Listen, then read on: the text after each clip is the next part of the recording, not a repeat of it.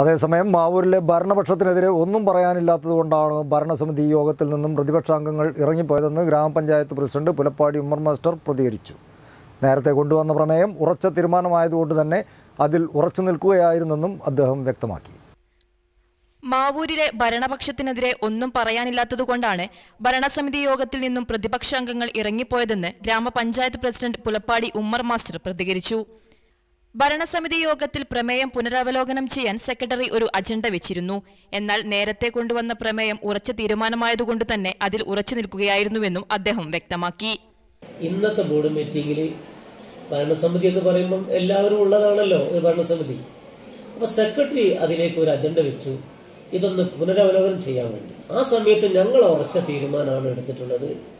ആ പ്രമേയം അന്ന് എങ്ങനെ ചർച്ച ചെയ്തു? അതേമാതിരി തന്നെ നിലനിർത്താൻ വേണ്ടി നമ്മൾ പ്രമേയം കൊടുത്ത പ്രമേയം അവതരിപ്പിച്ച ഞങ്ങളുടെ സ്റ്റാൻഡിംഗ് കമ്മിറ്റി ചെയർമാൻ അപ്പൂഞ്ഞേട്ടൻ. അതിൽ ഉറച്ചു നിന്നു. അതിൽ മാറ്റം വരുത്തേണ്ട ആവശ്യമില്ലല്ലോ. അനധികൃത മണൽത്തോണി പിടിച്ചതുമായി ബന്ധപ്പെട്ട പ്രമേയം മാറ്റേണ്ട ഒരു സാഹചര്യവും ഇന്ന് നിലവിലില്ല. എന്നാൽ ഭരണപക്ഷ അംഗങ്ങൾ അവതരിപ്പിച്ച പ്രമേയത്തിൽ എന്തെങ്കിലും പോരായ്മ ഉണ്ടെങ്കിൽ അത് തിരുത്താൻ സെക്രട്ടറിയെ ചുമതലപ്പെടുത്തിയിട്ടുണ്ട്. എന്നിട്ടും രാഷ്ട്രീയ പ്രേരിതമായി പഞ്ചായത്തിനെതിരെ അനാവശ്യ പ്രചരണവുമായി ഇറങ്ങാനാണ് പ്രതിപക്ഷത്തിന്റെ ശ്രമമെന്നും ഗ്രാമപഞ്ചായത്ത് പ്രസിഡന്റ് കുറ്റപ്പെടുത്തി.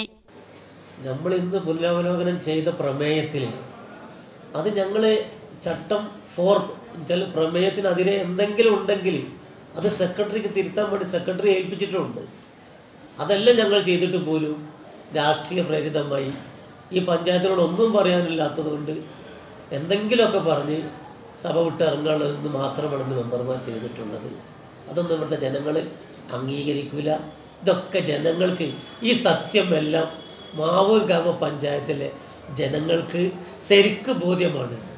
പ്രതിപക്ഷത്തിന്റെ നേതൃത്വത്തിൽ നടക്കുന്ന ഇത്തരം പ്രചരണങ്ങളെല്ലാം മാവൂരിലെ പൊതുസമൂഹം കാണുന്നുണ്ട് എന്ന കാര്യം അവർ ആലോചിക്കണമെന്നും പ്രസിഡന്റ് ചൂണ്ടിക്കാട്ടി. News bureau Mavoor.